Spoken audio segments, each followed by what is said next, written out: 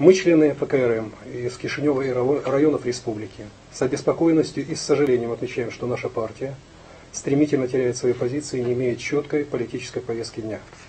Сегодня, в канун выборов президента Республики Молдова, мы все являемся свидетелями консолидации правого фланга, понимая, что они заслуженно теряют поддержку народов и понимая, что они снова хотят победить на выборах – людям навязываются кандидатуры Мариана Лупу и Майи Санду, между которыми нет принципиальной разницы, которые участвовали прямо или косвенно в процессе разграбления страны, кражи миллиарда.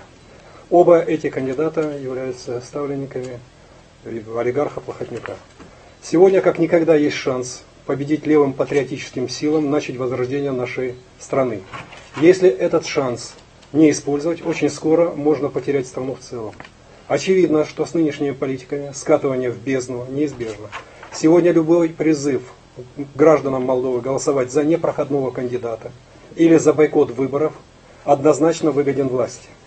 Каждый голос, оторванный от прогосударственных сил, дает дополнительный шанс нынешней власти Молдовы продолжать процесс разрушения нашего государства. Сегодня всем здоровым силам нужно объединиться.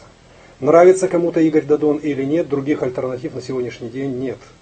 Существует реальный шанс возрождения страны и начала процесса стабилизации. Необходимо начать что-то менять.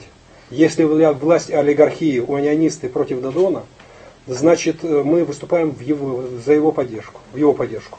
Это битва за Молдову и ее будущее. Уверены, молдавский народ встанет с колен и победит.